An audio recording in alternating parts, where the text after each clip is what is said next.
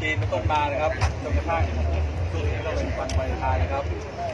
ซึ่งประเทศของเรานะก็มีนักท่องเที่ยวนะครับ เข้ามาท่องเที่ยวเพิ่มขึ้นเป็นจำนวนมากนะครับก็เป็นนโยบายของทางรัฐบาลนะครับ ที่ให้ความปลอดภัยและความอบอุ่นของนักท่องเที่ยวชาวต่างชาติที่เดินทางเข้ามาประเทศไทยแล้วก็ขอบคุณนะครับเพื่อนพนักงานทุกคนได้มาทำงานที่ไหนมา มาทำงานนะครับมานะครับดีครับ Where you from? Nigeria. How are you here? Right here. What's name? นเขาเขาอยู่มา 5 ปีแล้วนะครับ แล้วก็ overstay นะครับ ก็คือการยากนะครับมีค่า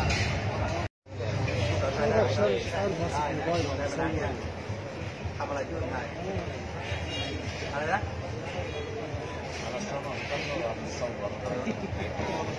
ขายของ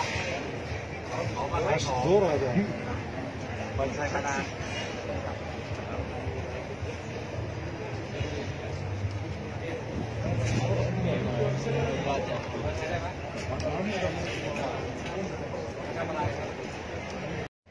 ครั้งที่ 30 นะครับ ในมาตรการนะครับ X-Ray Outlaw Foreigner ครับก็มีการบูรณาการหลายหน่วยงานครับไม่ว่าเป็นนะกองการปราบยาเสพติดนะครับกองบังคับการปราบปรามค้ามนุษย์นะครับ แล้วก็ทางตำรวจหนึ่งเก้าหนึ่งนะครับตำรวจสันติบาลนะครับตำรวจท่องเที่ยวนะครับ แล้วก็ของตำรวจสำนักงานตรวจคนเข้าเมืองนะครับ โดยเฉพาะกองการสืบสวนสอบสวนของพนักงานตรวจคนเข้าเมืองนะครับ ในการปิดล้อมตรวจค้นนะครับพื้นที่ต่างๆนะครับ ทั่วประเทศนะครับ นะครับนะครับเป็นการปิดล้อมตรวจค้นนะครับ ที่ตรวจสอบนะครับคนต่างด้าวที่นะครับเดินทางเข้ามาในประเทศไทยนะครับ แล้วก็ใช้ประเทศไทยเป็นแหล่งพักพิงนะครับมาก่ออาชญากรรมประเภทต่างๆ เกิดขึ้นทางนี้ทราบตัวอยู่แล้วนะครับวันนี้นะครับเป็นการปิดล้อมทั้งหมดนะครับ 220 เป้าหมายทั่วประเทศนะครับจับกลุ่มผู้ต้องหาได้ 522 รายนะครับ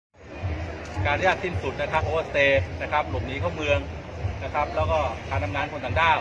แล้วความผิดนะครับตามพรบคนเข้าเมืองต่างๆ เช่นนะครับ ตามมาตรา 37 38 การไม่แจ้งที่พักต่างๆนะครับ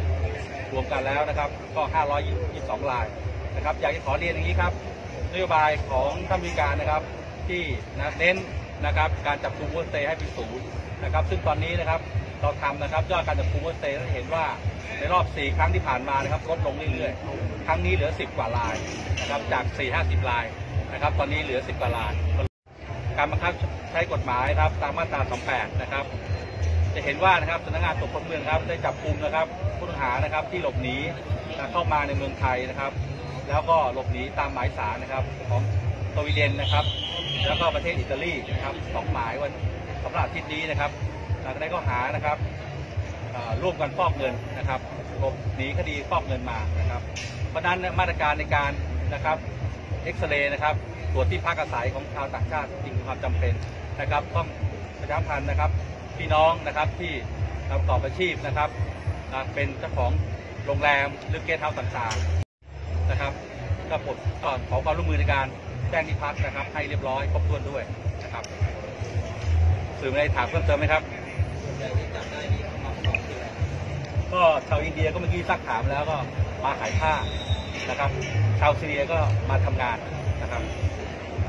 ก็อยู่มาก็บางคนก็ห้าห้าปีขึ้นนะครับ ครับก็สำหรับวันนี้นะครับช่วงนี้นะครับ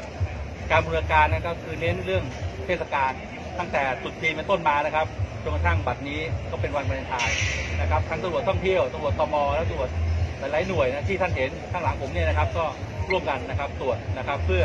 สร้างความมั่นใจให้นักท่องเที่ยวที่เดินทางมาท่องเที่ยวประเทศไทยนะครับ